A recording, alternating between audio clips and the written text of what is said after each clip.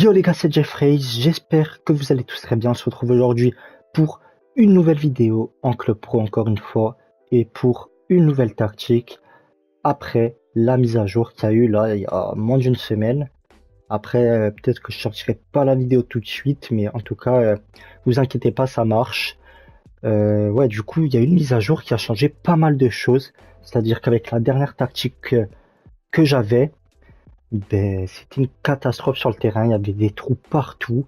C'était un boulevard pour les attaquants adverses. c'était ou nous qui arrêtions euh, ben, du coup les attaquants, ou alors c'était foutu. Donc j'ai essayé de regarder un petit peu partout. J'ai essayé de me baser aussi à moi de ce que je connais du mode club pro et, et un peu tout. Et du coup, je suis parvenu à une tactique qui pour le moment est parfaite. Je la recommande à 100%. De toute façon, je vais vous présenter ça. Juste avant, les gars, n'hésitez pas à liker la vidéo, à vous abonner et à activer la cloche si ce n'est pas déjà fait. Merci à tous ceux qui prendront le temps de le faire. Et nous, on est parti. Donc, vous voyez que je suis pas forcément sur une tactique. Il y en a plusieurs.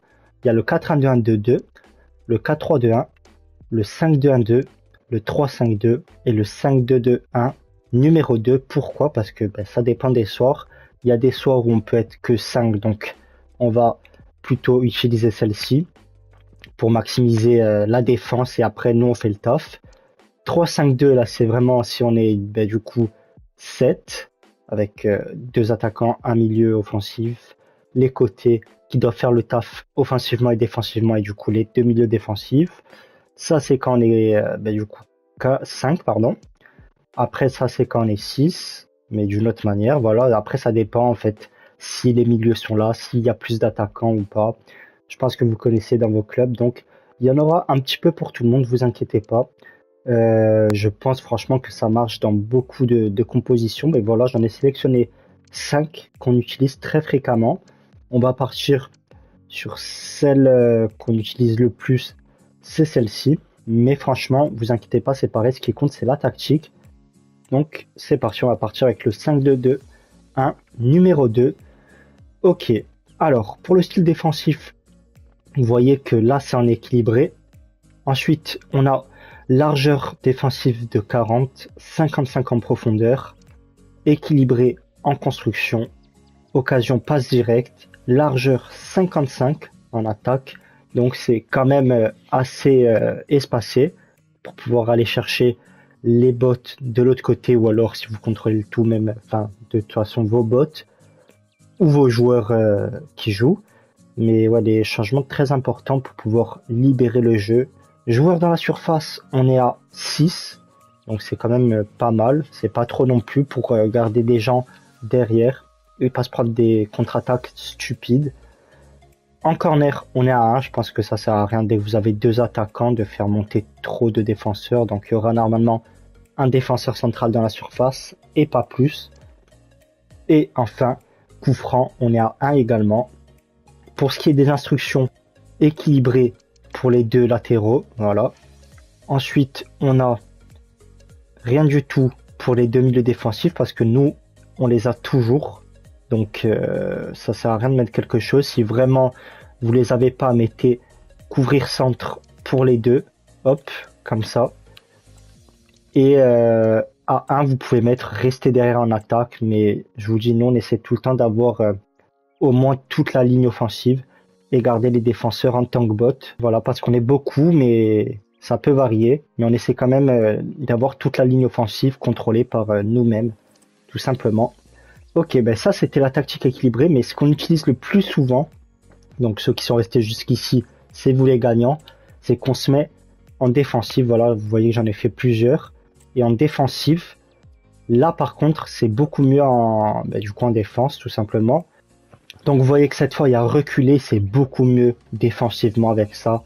Il y a quelques trous en équilibré, mais avec euh, reculé en style défensif et après vous laissez 40, 55 équilibré en construction, passe directe. Largeur défensive, là on est beaucoup plus resserré, c'est du 40. On a 4 pour les joueurs dans la surface, donc les bots monteront moins. Ce sera à vous de faire le taf par contre, mais ça, ça vous jouer de toute façon. Et en instruction, ce qui change en défensif, c'est rester derrière en attaque pour les latéraux. Voilà, pour les milieux défensifs, mettez pareil, euh, rester derrière en attaque et couvrir centre, comme je vous l'ai dit. Mais sinon, il y a juste les latéraux qui auront resté derrière en attaque parce que c'est vrai qu'en équilibré, ils ont tendance à monter et ça nique un petit peu tout malheureusement. C'est compliqué de gérer parce que quand ils montent, il faut qu'il y en ait un de vous qui reste en défense. Et ouais, c'est assez chiant. Donc, défensif, c'est la tactique que je vous conseille. Bon, après, vous pouvez la mettre en équilibré, hein, ça change rien. Vous mettez direct comme ça en équilibré. Hop, et vous mettez reculé 40, 55, etc., etc. Donc au moins, vos joueurs, ils sont pas trop bas. Ils sortiront assez bien sur les attaquants. Mais quand même, quand il y a une petite possession de l'équipe adverse devant votre surface, ils vont se placer au bon endroit, parfaitement où il faut. Et ça va vous permettre euh, de récupérer pas mal de ballons. Je vous conseille également de vous fier à ma vidéo sur les astuces si vous l'avez pas déjà vu pour bien contrôler les bots, que ce soit avec R1 ou même le gardien avec triangle. Donc voilà les gars, la vidéo touche à sa fin. Je vous présente pas la tactique euh, ultra défensive parce que elle est pas parfaitement au point. Souvent on reste en défensif tout le match. Voilà ce qu'on fait. Il y a aussi une tactique offensive en 3-4-3. Pareil, on l'a pas testé plus que ça parce que on gagne souvent, surtout en ce moment. Donc euh, ça sert à rien qu'on s'entête à changer de formation une fois qu'on perd. Pour le moment, ça marche très bien comme ça. Après, si un jour j'arrive à une tactique offensive qui est intéressante, je vous proposerai ça sur la chaîne YouTube, pas de souci. En tout cas, merci à tous les gars d'avoir regardé jusqu'ici. N'oubliez pas, vous pouvez mettre la compo où vous voulez. Mais je vous conseille une des cinq que j'ai mis. Le plus important, c'est d'avoir comme dans le style défensif, je vous remontre une dernière fois. Voilà les gars, merci à tous et à la prochaine.